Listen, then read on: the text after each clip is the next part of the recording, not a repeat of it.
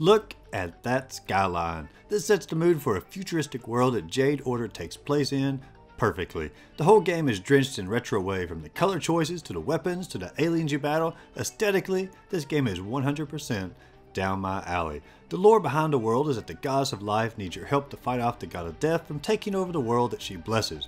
You're basically a hired mercenary to take out his alien hordes. The game itself is a basic little puzzle strategy game. You're on a board, you can move one space at a time, and you have to attack enemies from either the side or from behind to actually kill them. The enemies will move around the board every time you move, so you have to choose your moves wisely to sneak in your attacks. As you progress through the game, you continue to unlock new blessings or powers to help you kill the monsters, and as the levels progress, they continue to throw out new concepts for the monsters that fit the tone very well.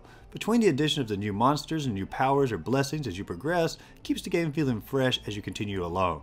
While the core game itself is fairly fun, if they didn't mix it up like this over the course of the 50 levels, it would get a little bit monotonous before the game was over.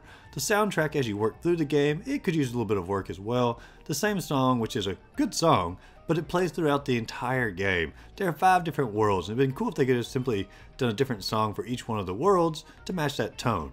But at least the song that we got is a good song. While the game itself can be completed in a few hours, there are options to go back and meet the challenges on each level, like completing a certain number of turns or collecting very specific jewels throughout the map. This adds some replayability for the game, but once everything is collected, there's little to draw you back into the game. So it's probably a 4 to 5 hour game max and not going to come back to it. Overall, I really love the tone and the artistic direction of this game. The gameplay itself is unique and fairly fun overall, however, there isn't much to pull you back into it once you finish the entire thing. While personally I do enjoy puzzle games like this, the aesthetics that they've selected and the monsters they have, it kept me wishing it was more of an action game, more like a Mega Man game or something like that. Not a criticism of the game that they created, but just a wish for future projects in this universe if the developers happen to watch this video. This game goes for $6.99 on the eShop, and if puzzle games are down your alley, I say it's worth that cost. And also, I say if you enjoy action-packed games, I think you'll still like this game because of the aesthetics, but I'd probably recommend waiting for it to go on sale. But if you enjoyed this video, be sure to like and subscribe to the channel. As always, go out there, find a great game to play, and just simply have a great rest of the day.